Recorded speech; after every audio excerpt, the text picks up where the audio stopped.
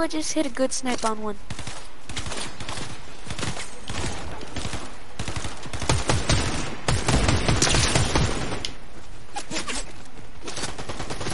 I hit a crazy snipe on one.